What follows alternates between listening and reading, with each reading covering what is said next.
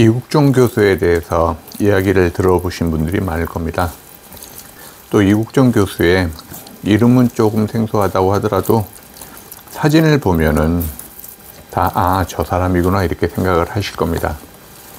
이국종 교수는 아주대 교수였죠. 아주대 의대 교수였는데, 권역 외상센터장을 지냈고, 또 아주대 외상연구소장을 지냈습니다. 아주대 의대를 세간에 알린 아주대 외과 교수였습니다. 외과 전문의 면허도 두 가지를 가지고 있다고 그러더라고요. 이국종 교수는 우리나라에 몇 안 되는 총상 수술 가능 의사인데 또 그 중에서도 가장 유능한 의사라고 합니다. 그 다음에 이국종 교수의 또 훌륭한 업적은 손상 통제 수술이라는 게 있다고 합니다.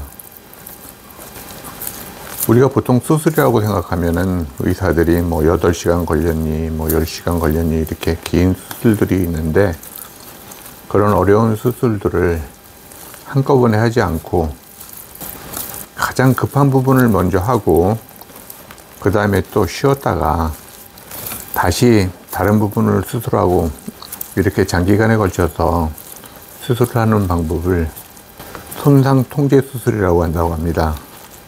이 부분에 있어서도 이국종 교수가 처음으로 우리나라에 도입을 했다고 합니다.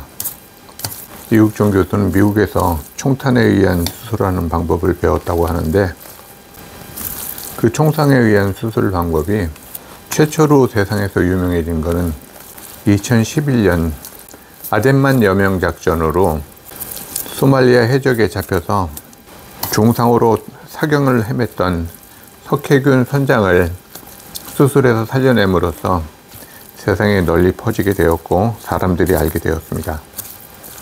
그리고 또 한 번의 대수술을 성공했는데 2017년 북한 귀순용사 그러니까 북한군 하전사인 오청성 씨가 한국으로 귀순을 하다가 다섯 발의 총상을 입은 오청성 씨를 이국종 교수가 또 구해냈습니다.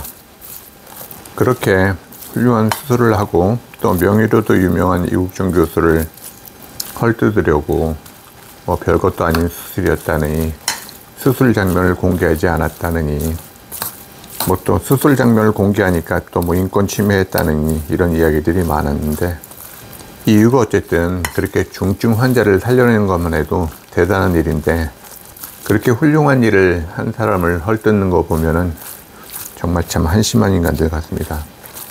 남이 잘 되는 꼴을 눈뜨고 못 보겠다 이거죠. 그런데 지난 15일에 한동훈 비상대책위원장과 이국종 교수가 만났습니다. 한동훈 비상대책위원장이 국군 대전병원에 방문해서 거기서 국군대전병원 병원장인 이국종 교수를 만난 거죠. 근데 그때 깜짝 놀란 게 이국종 교수가 대령 군복을 입고 있더라고요. 이국종 교수가 작년 12월 27일에 국군 대전병원 병원장으로 취임을 하면서 계급이 해군 명예 중령에서 해군 명예 대령으로 진급을 했다고 합니다. 이국종 병원장은 해군 명예 대위부터 시작을 했는데 대위부터 시작을 해서 지금 대령이 되었습니다. 해군에서 명예직 계급을 받는 사람들은 모두 현역과 똑같이 군복을 착용할 수 있다고 합니다. 병원장이나 의사들은 하얀색 가운이나 아니면 양복을 입거나 그럴 텐데 뉴스에 나온 이국종 교수는 해군 군복을 입고 있었는데 멋져 보였습니다.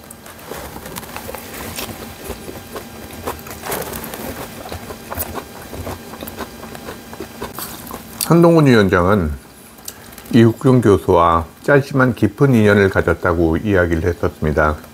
그 얘기를 들으면서 아, 둘이 무슨 일이 있었구나 하는 상황이 짐작이 되었습니다. 한동훈 위원장은 총상치료와 외상치료의 권위자인 이국종 교수를 인재 영입을 하려고 시도했던 것 같습니다. 이국종 교수는 그 제안을 거절했습니다. 정치인이 되는 것보다도 의사로 남아있는 게 훨씬 더 훌륭한 결정이라고 생각했던 것 같습니다. 저도 그 결정이 훌륭하다고 생각을 합니다. 누구나 권력을 잡고 싶고 또 사람들이 우러러보는 자리를 차지하고 싶지만은 의사로서 자기의 소임을 다하겠다고 생각한 이국정 교수에게 박수를 쳐주고 싶습니다. 지금 국회의원 공천을 놓고 여야가 시끌시끌합니다. 그래도 여당 쪽에서는 원로 정치인들이 많이 수긍을 하는 것 같은데 야당에서는 이제 난리가 시작되고 있습니다. 이재명이는 여론조사가 어쩌니 저쩌니 하면서 사기를 치고 원로 정치인들을 밀어내려고 하고 원로 정치인들은 거기에 지속적으로 반발을 하고 있습니다. 한동훈 위원장이 잘하고 있다고 생각되는 게 15일 날은 국군 대전병원을 방문하고 또 어저께는 의정부 시장을 방문했습니다.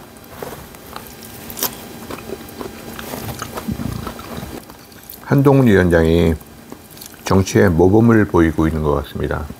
입으로는 소리치고 또 발로는 뛰고 그 다음에 머리로는 올바른 기준을 선택해서 사람들이 거기에 대해서 반발을 못하게 만드는 게 지금 현재 한동훈 위원장이 실시하고 있는 일들입니다. 그러니까 항상 변명만 하고 또 재판을 받으러 다니고 또 되지 않은 소리만 하고 있는 이재명의 민주당의 지지율은 떨어지고 있고 올바른 행동을 하는 한동훈의 국민의힘은 지지율이 계속 올라오고 있는 것 같습니다. 한동훈 비대위원장이 그렇게 열심히 뛰고 찾다 보니까 이국정 병원장 같은 분을 찾아낸 것 같습니다. 이국정 병원장을 인재로 찾아낸 한동훈 위원장도 잘했고 또 정치에 참여하지 않고 의사로 남아있겠다고 한 이국정 병원장도 참 잘했습니다. 이국정 병원장이 정치판에 뛰어들어서 의료 분야 전문 국회의원이 되는 것도 좋았겠지만은 지금처럼 그냥 병원장으로 남아서 의사로서 자기의 사명을 다하는 것은 더 멋있을 것 같습니다. 그동안은 육회 비빔밥은 잘 먹지 않고 육회로만 먹었는데 지난번에 고기가 남은 걸 좀 비벼 먹어보니까 아주 맛있더라고요. 그래서 이번에는 육회는 조금만 먹고 육회 비빔밥으로 먹었습니다. 육회 비빔밥 아주 맛있네요.